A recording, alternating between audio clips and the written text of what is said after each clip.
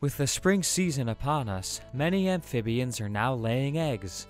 Here's a quick visual on how to distinguish toad eggs from frog eggs. Frogs lay eggs in circular masses. The eggs shown here belong to the wood frog.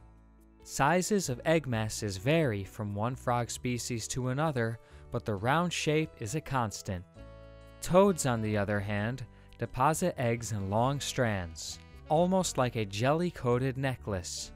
The egg strands have a coiled pattern, yet are distinctly linear when examined closely.